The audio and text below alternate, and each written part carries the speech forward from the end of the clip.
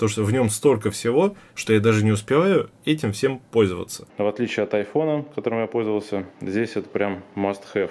В 100% случаев я их вот так вот не открываю. Кто бы ты ни фотографировал, у тебя это выйдет просто бомбезно.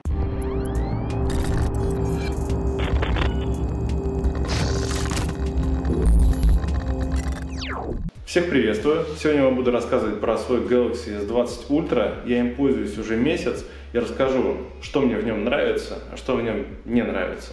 Поехали! Представляете, прошел уже месяц, как я гоняю с Galaxy S20 Ultra, и этому рад. На самом деле, это круто, потому что это настолько передовое устройство, и здесь вообще есть все. Вот что бы тебе не захотелось сделать в современном мире, он умеет все. Тебе ничего не нужно с собой. Ни фотоаппарат, ни видеокамеру, ни кошелек. Короче, вот ты просто берешь с собой телефон, и он заменяет у тебя все.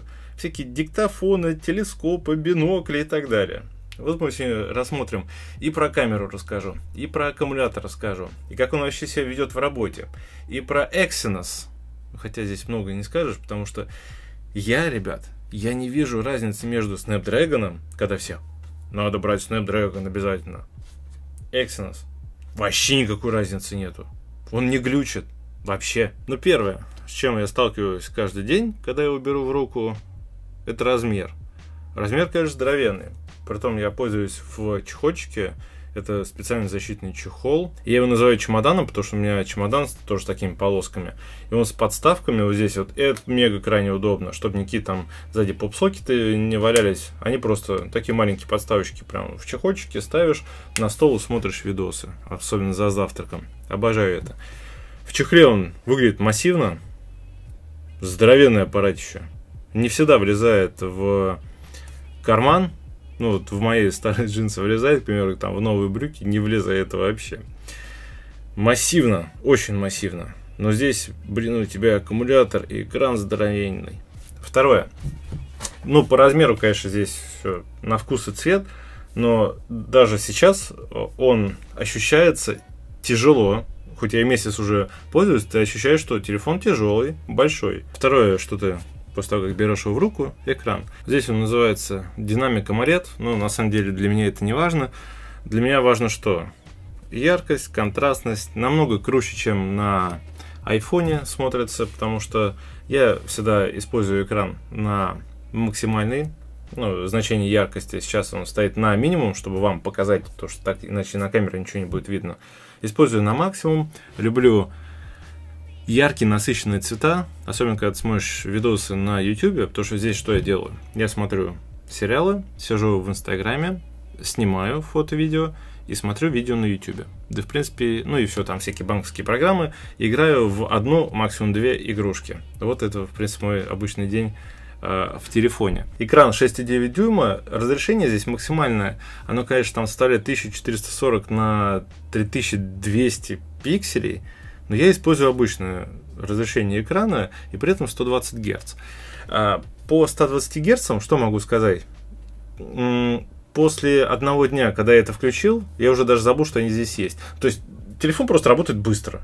Вот из-за того, что э, ты не всегда это ощущаешь, что, знаешь, ты там будешь а, каждый раз берешь такой, о, у меня 120 Гц. Нет, это не так. Ты включаешь, и он просто, это вот, как знаешь, должное. То есть он откликается очень быстро, и у тебя ощущение, что телефон просто летает. Мне не всегда его удобно держать одной рукой, потому что какие-то моменты, когда ты снимаешь, э, не знаю, там, видео или фото, тебе нужно дотянуться, это неудобно. Да, потому что 6,9 дюйма, он еще тяжелый, тебе приходится подключать вторую руку, либо как-то изгаляться, и при этом какие-то фантомные нажатия у меня происходят. Но это изначально ты к этому идешь, когда ты покупаешь себе большой телефон, знаешь, в любом случае у тебя лапа должна быть здоровенная. Весит он 220 грамм. Вот, и сейчас я вам расскажу, где я его вообще ношу. По удобству ношения, в машине это автомобильная держалка. Так обычно ношу, конечно, в правом кармане именно джинс и в чехольчике. И также еще у меня есть третье место хранения, это рюкзак. Рюкзаком сейчас пользуюсь от компании Long River. Немножко вам расскажу про компанию Long River. Это московский бренд и делает высококачественные изделия из кожи. Мой телефончик прям идеально помещается. Как раз задний отсек, который рядом со спиной, антивандальный, скажем так, что никто его отсюда не возьмет, кроме меня. Ну а по самому рюкзаку, ребят, просто обратите внимание именно на детали, на качество.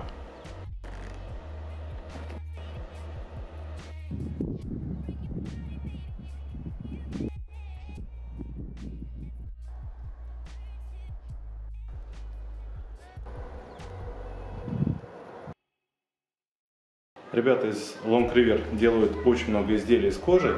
Я вам дам ссылку на их сайт. Зайдите, посмотрите, и у меня для вас будет промокод. Вот этот на скидку. Он будет продублирован в описании, так что буду вам признателен.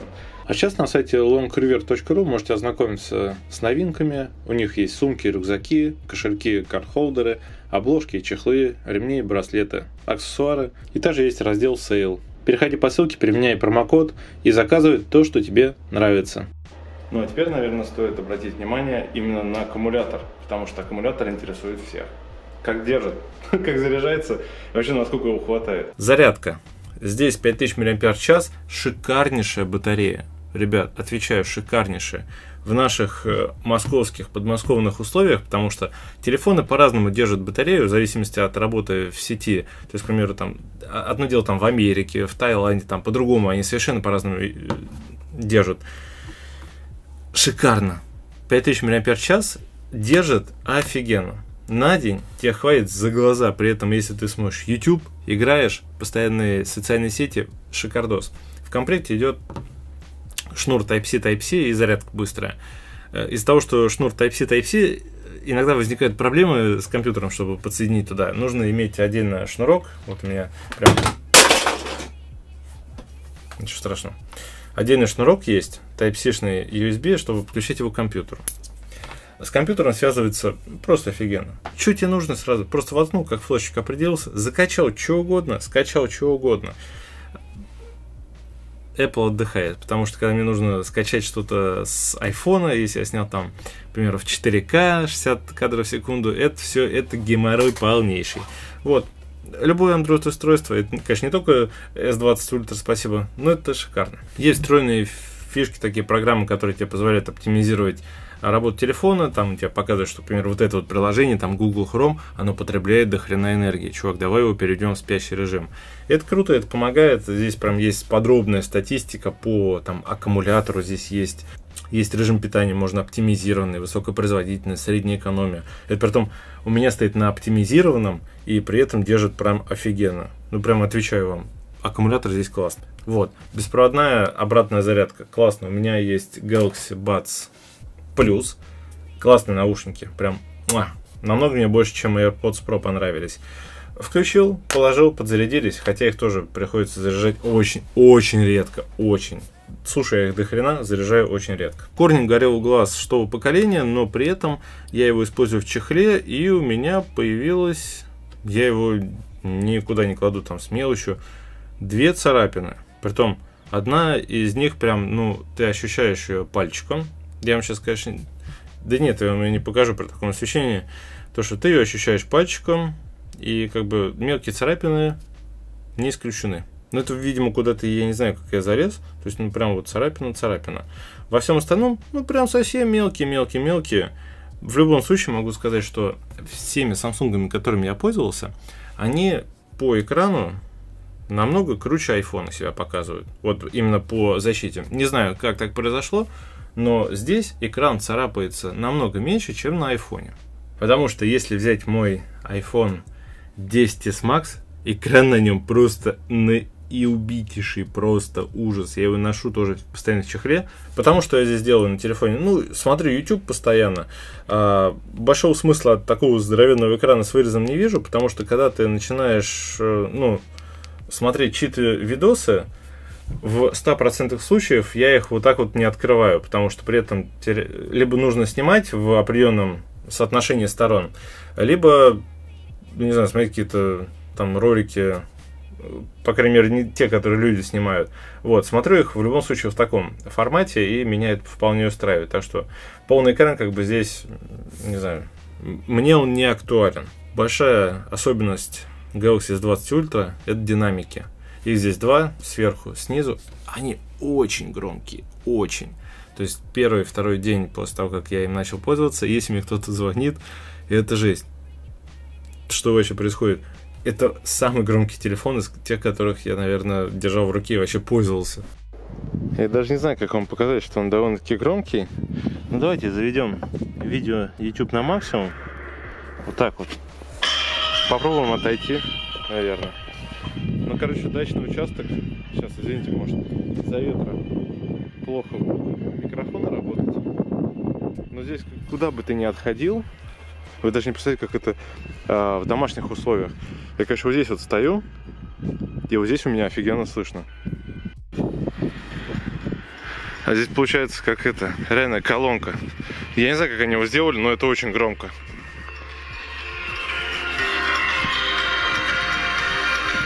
По камере. Камера здесь, конечно, закрывает вообще все моменты, что тебе нужно. Там от широкоугольных фотографий до хрен знает, там, не знаю, бинокля стократного увеличения. Здесь Spayzoom он называется, но я по факту Spayzoom пользовался только один, два раза. Один раз, когда снимал обзор на этот телефон, и второй раз, когда увидел Луну, дай-ка я ее засниму. Чем чаще всего пользуюсь в камере?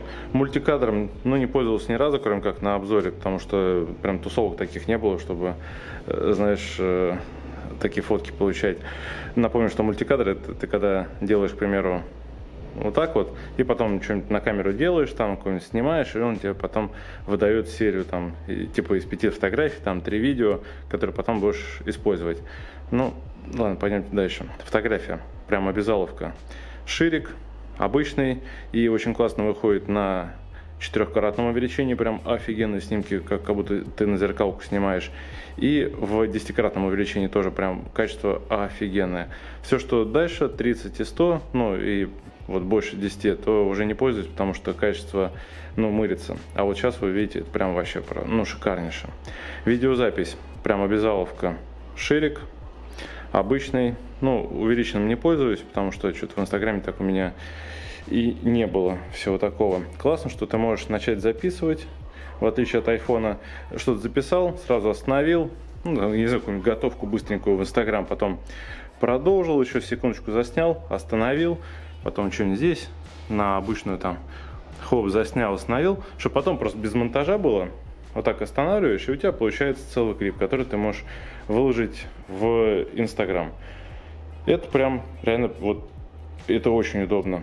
В отличие от айфона, которым я пользовался, здесь это прям must have. Из э, сверхзамедленных э, мы с Тёмкой пару раз играли. Да, у нас кое-что получилось. Ну, так как, знаешь, эксперименты с ребенком мы там машинку запускали. И это была именно замедленная съемка, потому что сверхзамедленная у нас так не получилось сделать. У нас руки кривые были. Панорама не пользовался. Едой пользовался один раз, но он так по бокам немножко замыливает. Не знаю, знаете вы такой эффект, не знаете? Например, вот можно вот так вот сфоткать, к примеру.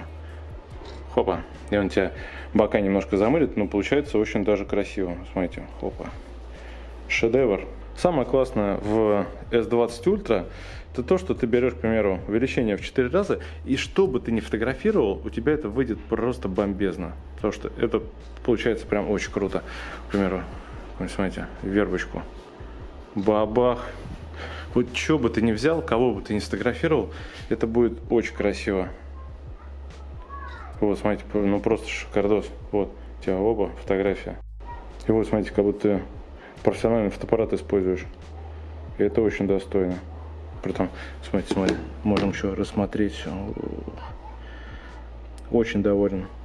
По поводу всех там технических таких, знаешь, моментов 108 мегапикселей и так далее. Я просто пользуюсь камерой мне не важно там включать один на 108 мегапикселей, потому что я разницы там не вижу. И если, конечно, мне захочется сделать какой-то плакат здоровенный, тоже для, Инстаграма, поверьте, это не нужно, конечно. Куда тебе там 108 мегапикселей?